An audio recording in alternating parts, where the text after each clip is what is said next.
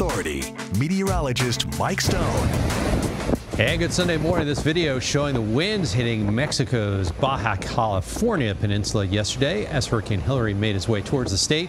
This was captured from a resort in Cabo San Lucas yesterday morning there and the surf there is getting even worse. There are hurricane warnings across parts of the western part of the peninsula, and we continue with tropical storm warnings for Southern California. I mentioned this yesterday. It's the first time they've ever had a tropical storm type advisory issued for the state.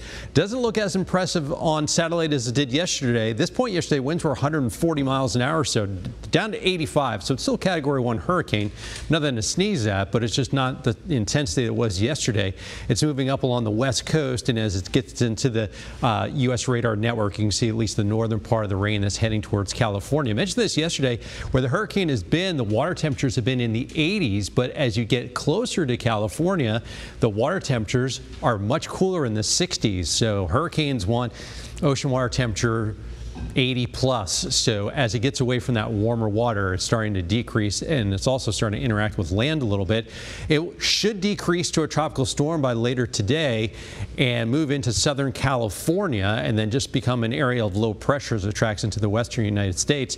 They have a high risk though of excessive rainfall, some flooding there. They could get over five inches of rain and there are some sections in this part of California that don't get that much rain in a year and they may also get a few tornadoes there today as well. So a lot going on there in the Pacific. In the Atlantic, bunch of stuff going on. One little system here trying to develop near Key West, moving into the Gulf. That may impact Texas. Not a big deal with that. There's one here in the Caribbean, shows a good sign of strengthening.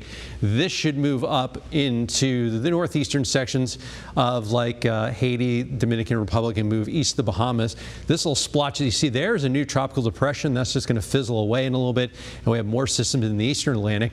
Looks like none of these will impact the United States except that one that I showed you heading towards Texas.